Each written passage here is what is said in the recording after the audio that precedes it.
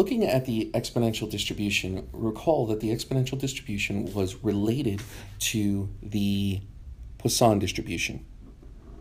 The difference is, is that the Poisson distribution was focused on counts, whereas the exponential distribution will be focused on the arrival times between the counts, or the times between the between the uh, events or counts. So the Poisson distribution was a discrete probability distribution, whereas the exponential distribution is a continuous one because all the numbers in between all the whole numbers actually have meaning. Recall that the exponential distribution was also a continuous discrete a, uh, a continuous probability distribution function that is bounded on the left by zero. So in other words, the, we'll start with zero and then begin to tail out to infinity. So our, our possible values will always be positive. Now on the left here we have a, a sample set of data that has the number of customers that, that have come in or the individual customers that came in and their associated arrival time in minutes. What we've done is we've calculated the delta between the times that they arrived. So we know that the first person arrived at 1.45 minutes. Now, while the second person arrived at 2.59 minutes total, they arrived 1.14 minutes later. So we just subtract these two together.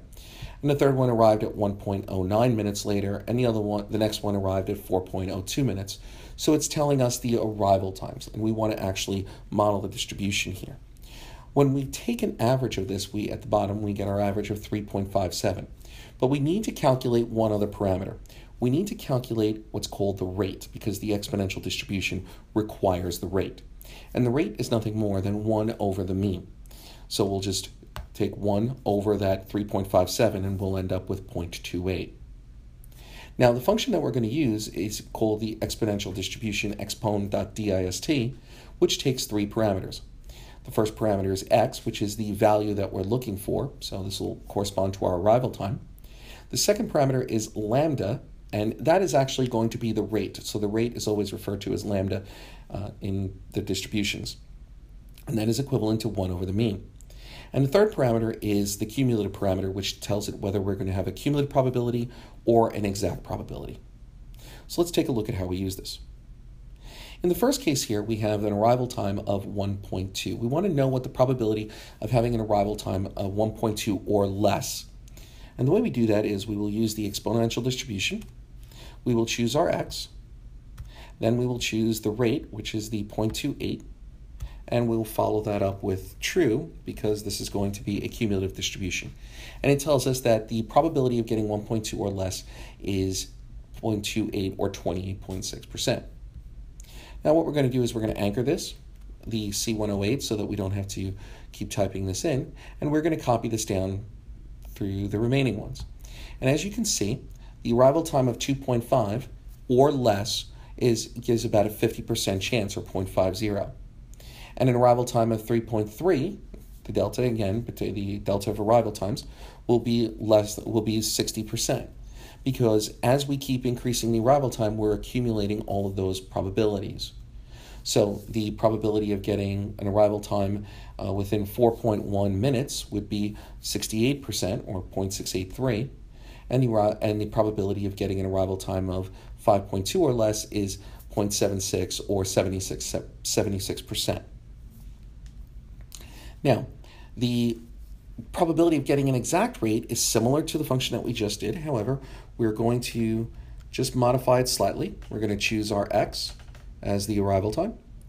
We're going to choose our lambda again as the rate, so that remains the same. And we're going to anchor that.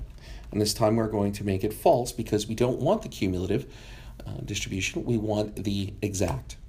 So when we do that, we see that the arrival time of 1.4 is approximately 18%. There's an 18% chance that we're going to have an arrival time of around 1.4.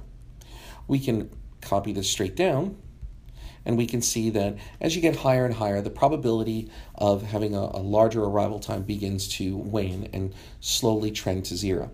Now, this is one of the properties here. If you recall from the previous uh, module where we talked about the uh, exponential distribution and we showed the graph, you'll see that that as the the delta of arrival times uh, increases, so we have on the top here 1.2, 2.5, 3.3, 4.1, 5.2, the cumulative distribution increases and it will always tend towards 1 because again of the cumulative nature of the probabilities. But as it gets higher and higher, it will gets uh, the, the difference between that and 1 will get smaller and smaller, but it really won't touch 1 because it is goes on for infinity.